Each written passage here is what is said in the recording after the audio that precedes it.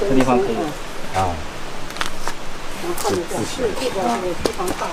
闹中取静，在农家乐旁边。对。你看人家那也是鸢尾花，鸢尾花，鸢尾花嘛。咱要不提一句？提一句，咱上次啊，就是咱自己院儿那个鸢尾花啊，一直以为买的是菖蒲，然后种菖蒲，而且我看到有个佛宴包，就以为是鸢尾花，实际上不不是。后来经人提醒呢，查一下，那就是鸢鸢尾花，嗯，紫色的。就是植物学上这一块说错了，得给人家道个歉，是吧？哎呦，这是一个菖蒲，养个玩儿。啊。这个就搁这样养吗？就这样养，就是喷水养就行。啊，喷喷浇水。那那能不能晒太阳？嗯，这个不用刻意的晒太阳，树荫下就行。树荫下。不用刻意的晒太阳。嗯嗯嗯嗯，菖蒲。嗯。哦，它那个嗯，要要每天浇水吗？嗯，要是像这种情况下，你这地方比较潮湿，你每天浇吧，基本上就浇水就是你拿拿喷壶喷喷，或者你把这个瓦片搁到水里边就行。哦哦哦。今天呢，上那个翠华山这块来寻访一个仙风道骨、鹤发童颜的一位女士、先生，修行人也是，所以呢，在这儿一块儿喝喝茶。就当茶点，嗯，当茶点，大家一块儿。你这个这个那个平常写作修行啊，都在这一块儿。对对，因为这个沟里头呢比较阴，阳光少，所以有的有的这个阳光房嘛，住在里头，坐在里头晒太阳，尤其是冬天。他那个就是那个那个院儿，我去过一次啊。哦，对，我听他们说了，然后说今天说要来，我说我我一定跟着过来。因为之前那个我在那个呃沈素池的这个朋友圈看到过你。哦哦哦，就是有点吹熏的那个。对对对。嗯嗯。我老师现在没那个杯子，拿出去两个丢了，拿不回来。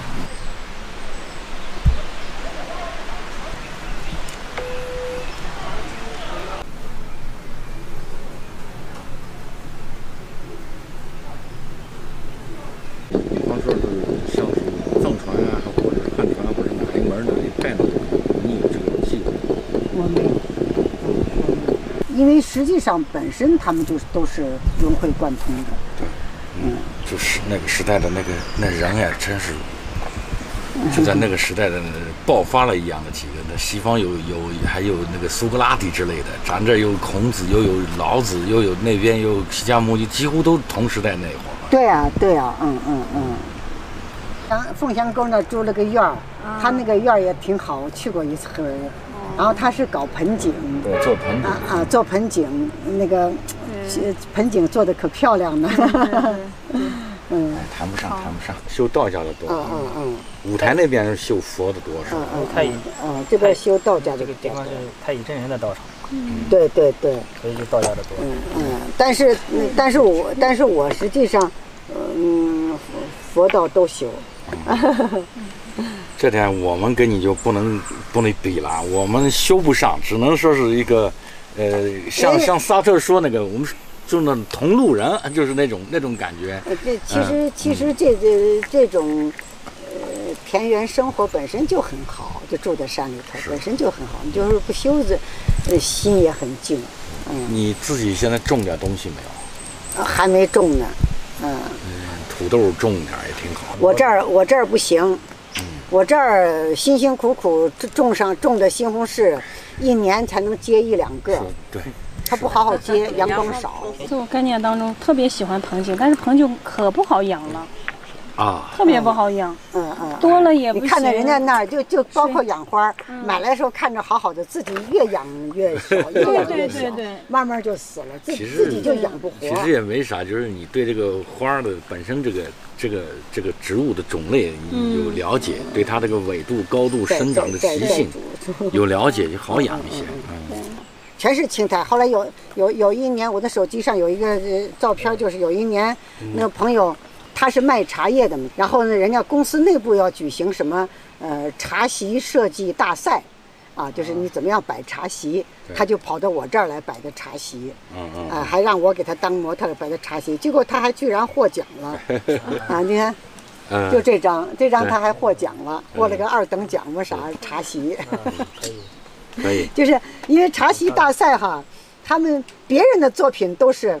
找一个古色古香的一个房子，然后古色古香的家具，嗯然后然后然后再摆上古色古香的茶席。对然后他他就是在这个我的自然这个环境里边自然环境里头摆了一个很简单的茶席，对铺了地上铺了块蜡染布，对。哎，最后他这个还获奖了。哎呀，要是这上面来上再来一条一一一道溪流下来就好了啊！上面上面那棵树底下，啊嗯呃，就是我的一个朋友去世了，我把他埋在那儿了，啊啊啊 骨灰骨灰埋在那儿。啊啊！他生前的愿望他是说，他想树葬，啊，然后跟大自然融为一体，啊，想树葬，啊，刚好我就找找了棵树底下把他葬了。可以。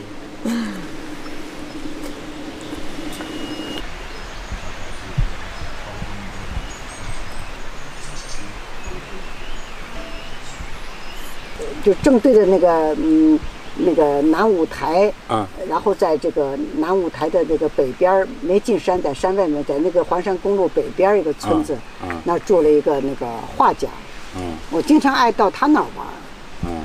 他说可能你说是可能黄埔那一块儿吧？啊对对对。黄，埔那个韩建刚他们在那。啊就是他那儿，哦，啊啊就他那儿，我经常爱到韩建刚那儿玩哦。因为他那儿带了一帮子孩子，嗯给孩子教画画，哎呀，那些孩子可可爱呢。嗯，因为他那一帮子孩子里头有有三个孩子，实际上是属于特殊儿童，就是有脑瘫呀啊，还有一个孩子是哑，那个聋了，耳朵聋了，听不见了。啊但是那些孩子哈呀，那个那表现出来的艺术天分哈，让人吃惊。那种天然的，主要是没有太多的。实际上现在就是包括现在学艺术，学什么学这琴那玩意儿那提的，一大堆东西，学越学那个人啊，那个单纯的心反倒是没了。你，因为我真的发自心性。你认识韩建刚？呃，我认识，但是没有过更多的交往。那那么他们的村子里面有好几个我都比较熟嘛。嗯嗯啊，他那个村子里头住了好多那个，对呃，像搞艺术的呀，或者是搞什么什么什么儿童什么传统文化教育的了呀，对对对呃，住了好好几个呢。他那村子也挺热闹的。对。但是我还是喜欢山里头。哎 我哎，我我也是喜欢山，但他那个是个园，啊，是哎是，，他那是个园，他那房子后面也是挺高高的一个对园。嗯因为他再往往西走一点，就是就是长宁宫嘛。对对长宁宫就在那对园上。对对。过去去长宁宫逛的时候，我就觉得很吃惊，都是嗯、当时那个所所谓那个蒋介蒋介石那个行宫嘛，嗯嗯嗯，你只要从空中往下看，你看不见有任何建筑啊、房子的，就是几棵树一个园，但是实际上它那个它都藏在那个挖进去一块的地方，都那样子的了。嗯嗯嗯嗯嗯胡宗南过去在那也在那开办过那个军校啊，嗯嗯嗯嗯。所以它叫黄埔村嘛，它原来就黄埔军校，黄埔军校分校在那然后那个谁也你说过去柳青也在那儿，啊，柳青也在那儿。好像最近要出一个什么柳青的什么专题片儿之类的。啊啊，现在我对这个都不感兴趣。那陕西作家里边，你大概喜欢哪一个呢？或者是能够跟你能够，呃，陕西作家里头，嗯，还真我觉我觉得就是那个写那个青木川那个那个女作家。那个应该是个北京人，知青下乡的，应该啊，但是她在陕西这块儿现在那啥，对啊，我我我觉得我对她写的东西挺感兴趣的我觉得还写的对挺好。啊，然后呢，贾平凹写的东西吧，嗯，不是特别喜欢。明白。嗯嗯，这是我说呢，我咱俩也在聊着玩呢。嗯我年轻时候看贾平凹的书，我老有种感觉，他写的特别土的，土的到了那种，就是你坐那随便咵可以吐一口痰的那种感觉，老是擦不净那种感觉，老有点这种感觉嗯啊，不像沈从文那种乡土，看起来还有点美的那种感觉。一般，反正也不也不也不能说他写的不好。而且他那文字上吧，经常是，嗯就是像是靠着那种文言夹着白话的那种感觉。嗯嗯嗯我倒觉得，嗯，有时候反倒是你从文字上来说，我觉得这个不顺，就是啊。嗯嗯嗯，然后高建群，虽然我跟他的关系挺好的，但是对但是他写的最后一个匈奴，我简直读不进去。嗯，啊那个不下去书我知道，但是我那书我没看过。我我我看了一点儿就实在读不下去了，我就没再没往后看了。菖蒲，它也是一种中药，好像。啊，对，它全株都入药。嗯，放到屋子里行不？啊，可以。菖蒲过去咱们从宋以后就叫做文人草，文人草就是文人啊，文人啊喜欢，咱就说的文人有点有点喜欢酸溜溜的。我我养个一个小植物搁到跟我跟我挺亲近的东西，但是又特别贵的东西或者特别不好养的东西，它它又伺候不了。哎，这个东西它搁到那，就它的案头，我写字儿的，或者他呃工作的那个案头放一棵这样的草，所以一直把它俗称叫文人草嘛，就这样。过去像米芾，可能我记得有幅画上米芾就画过这样的东西。啊米芾实际上不是画画，但他呃画过这样的东西。你看看你这儿环境来，看看你，然后我们反正最后我们也就走了啊嗯嗯嗯嗯嗯行行，有空到那儿玩儿去。啊。嗯把你的情嘛什么背上，也可以在那儿谈谈呀。等啥时候有了有那个朋友开顺车了，啊你自己没腿就不不方便。呃呃有朋友开顺车了，就可以到到你那儿去玩儿去。你们开车过来的哈？哎，嗯，行。